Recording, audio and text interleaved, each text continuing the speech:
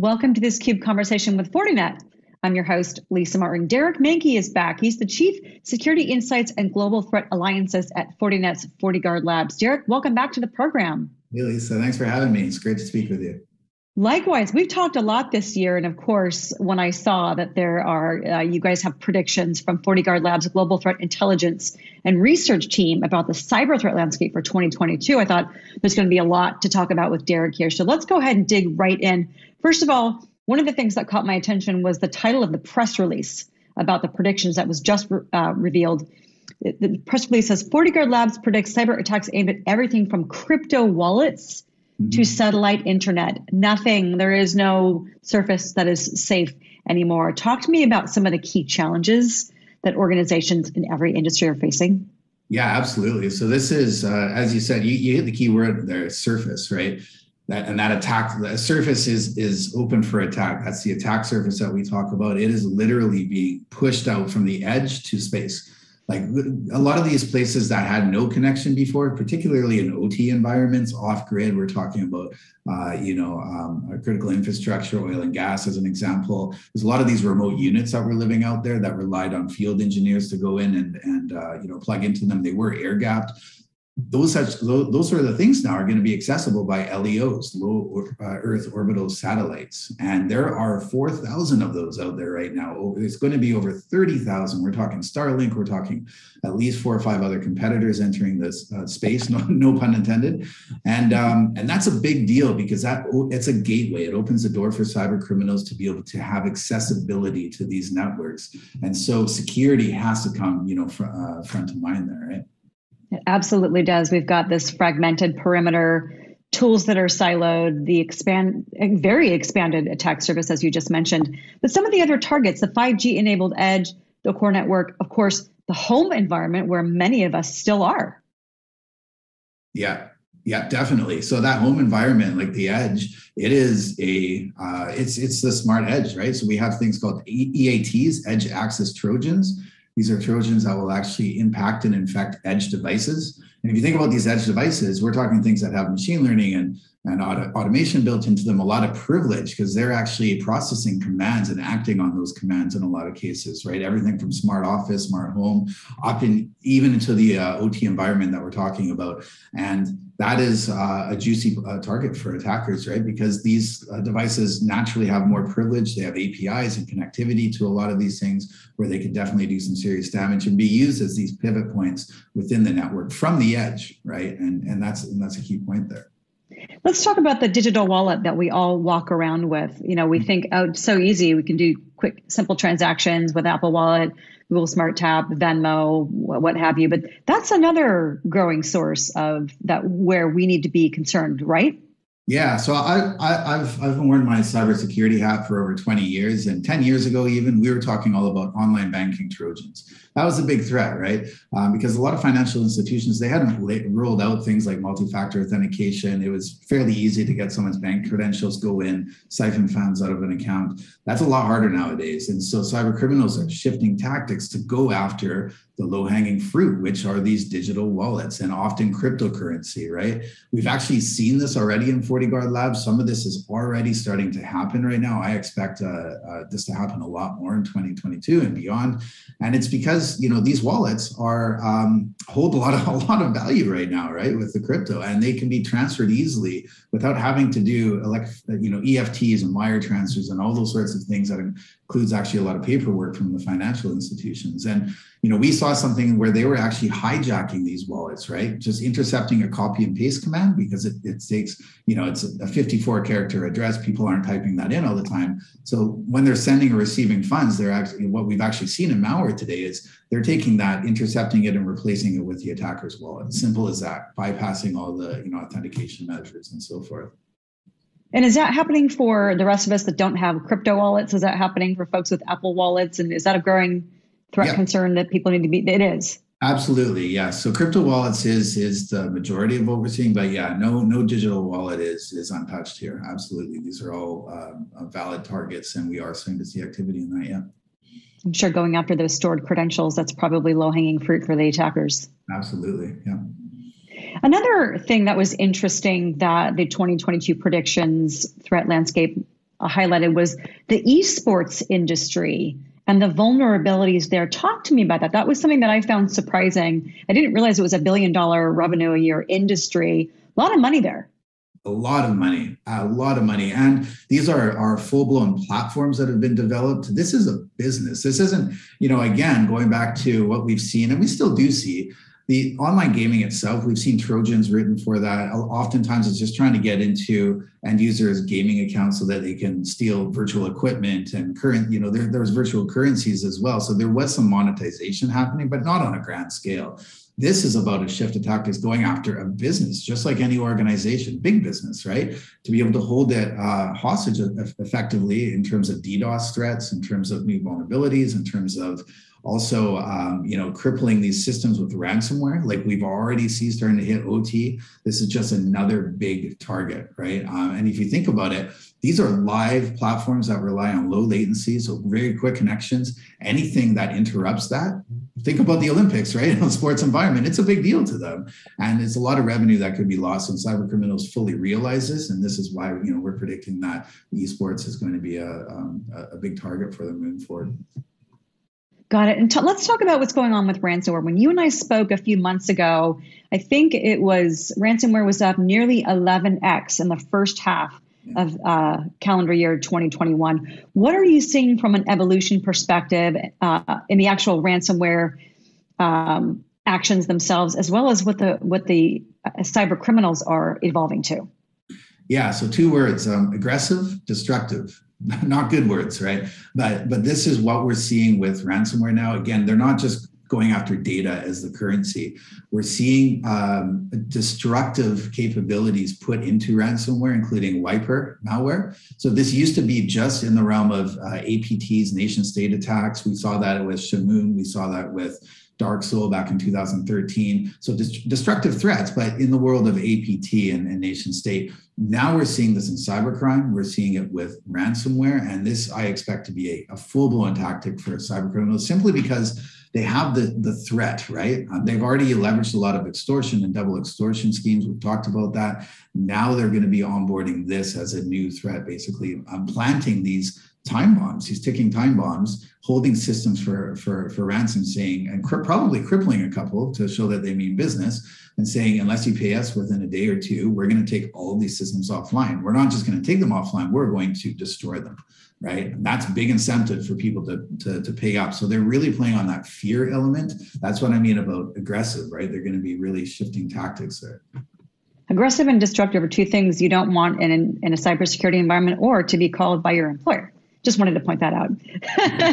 Talk to me a minute about wiper malware. Is this new, emerging, or is this something that's seeing a resurgence? Because this came up at the Olympics in the summer, yeah, right? Absolutely. So a resurgence in in a sort of different way, right? So as I said, we have seen it before, but it's been not too prevalent. It's been very, uh, it's, it's been a niche area for them, right? Specifically for these very highly targeted attacks. So yes, the Olympics, in fact, two times in the Olympics in Tokyo, but also uh, in the last Summer Olympics as well. We also saw it with, as I mentioned, in uh, South Korea in Dark Seoul in 2013. We saw it in an OT environment with Shamoon as an example, but we're talking handfuls here. Uh, unfortunately, we have blogged about three of these in the last month to month and a half, right?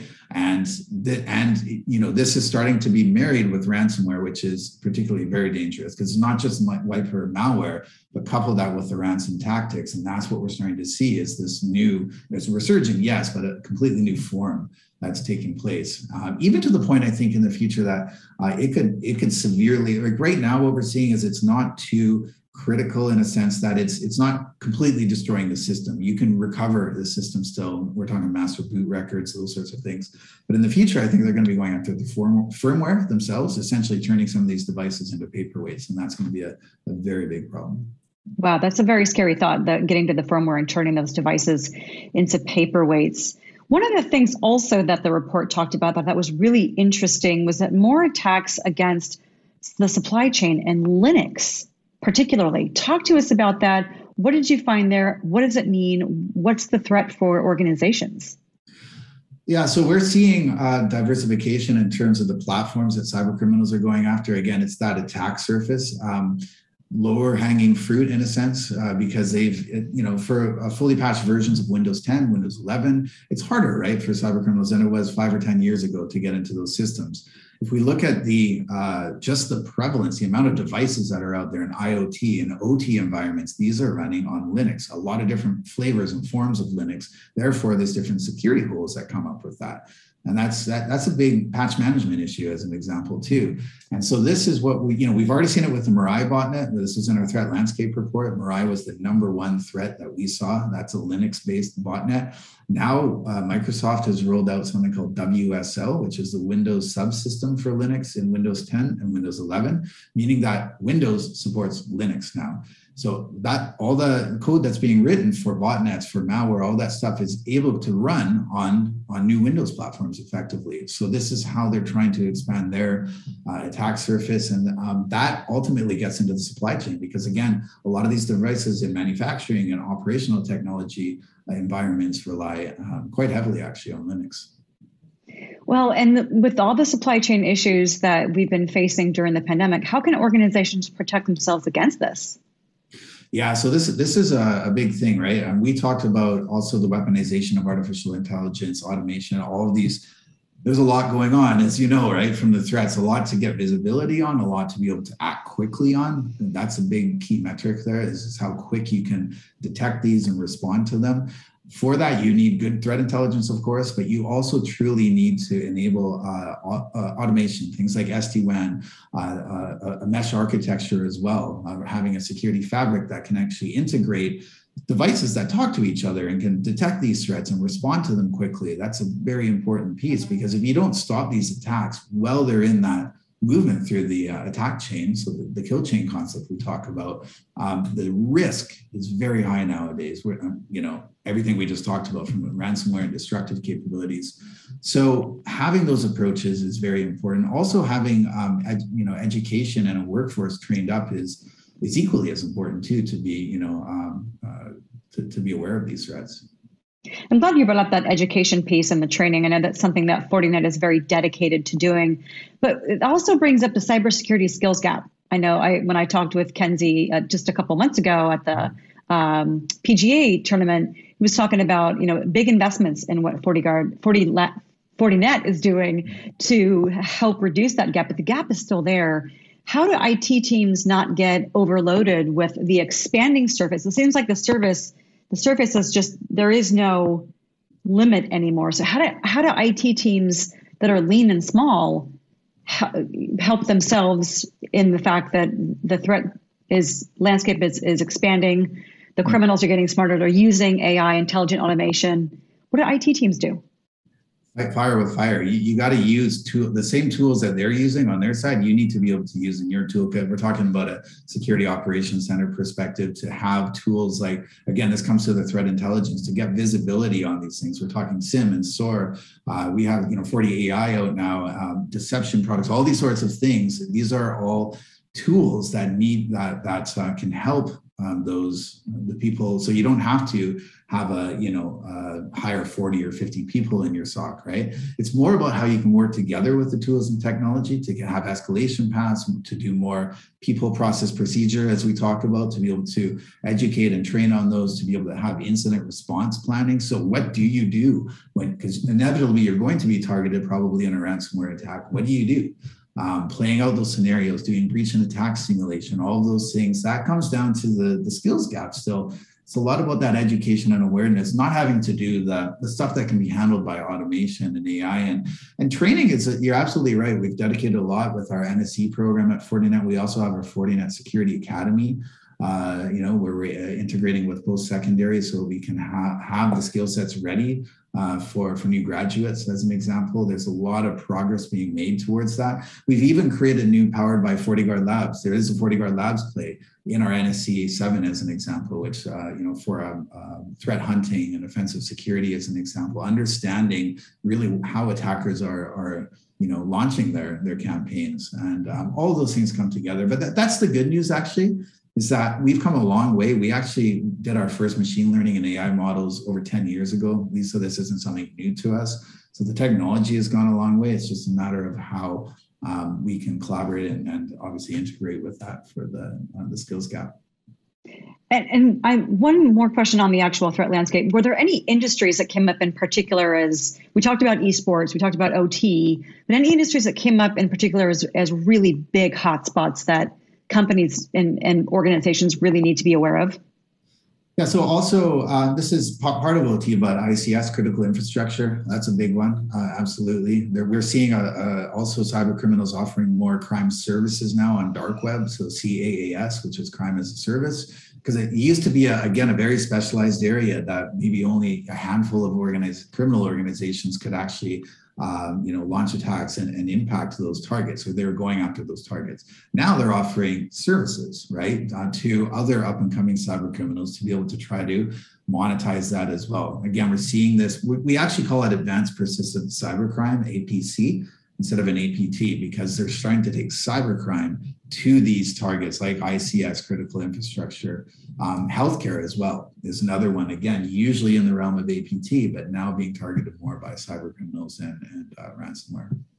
I've heard of ransomware as a service. Is that a subcategory of crime as a service? Absolutely. Yep. Uh, it is phishing as a service, ransomware as a service, DDoS as a service, botnet as a service, many of these subcategories.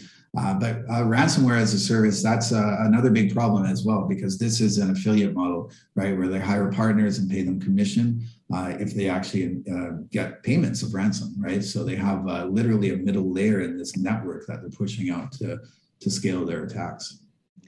You know, and I think that's the last time we talked about ransomware. We talked about it's a matter of, and I talk to customers all the time who say, yes, it's a matter of when, not if. Is is this the same sentiment you think for crime as a service in general? The attacks on esports, on home networks, on uh, internet satellites in space. Is this just a matter of when, not if, across the board?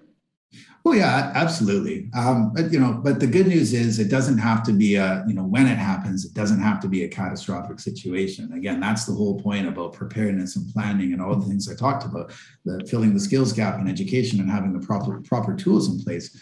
That all mitigates that risk, right? And and that's and that's perfectly acceptable, and that's the way we should handle this from the industry because um, we we process. We've talked about this before. Over hundred billion threats a day in FortiGuard Labs. The volume is just going to continue to grow. It's very noisy out there. There's a lot of automated threats, a lot of attempts knocking on uh, organizations' doors and networks, and you know, um, phishing emails being sent out and all that. So it's something that we just need to be prepared for, just like you do for um, natural disaster planning and all all these sorts of other things in the physical world.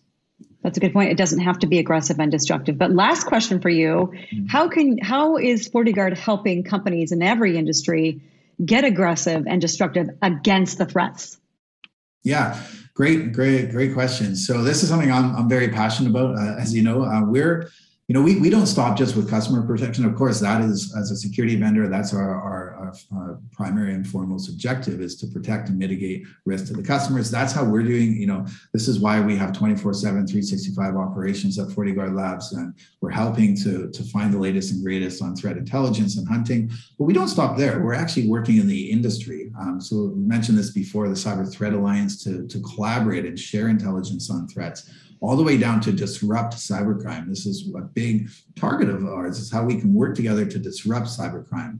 Because unfortunately, they've made a lot of money, a lot of profits, and we need to reduce that. We need to send a message back and fight that aggressiveness. And we're we're on it, right? So we're working with uh, Interpol at Project Gateway, with the World Economic Forum, the Partnership Against Cybercrime. It's a lot of initiatives with other, uh, uh you know, uh, the uh, the who's who of cybersecurity in the industry to work together and tackle this collaboratively. Um, the good news is there's been some steps of success to that. There's a lot more we're doing to scale up the efforts. Excellent. Well, Derek, as always, great and very informative conversation with you. I always look forward to these, seeing what's going on with the threat landscape, the challenges, the increasing challenges, but also the good news, the opportunities in it, and what FortiGuard is doing. FortiLab, FortiNet, excuse me, I can't speak today, to help customers address that and uh, we always appreciate your insights and your time. We look forward to talking to you and unveiling the next predictions in 2022. All right. Sounds good. Thanks, Lisa. My pleasure. For Derek Manky, I'm Lisa Martin. You're watching this CUBE conversation with Fortinet. Thanks for watching.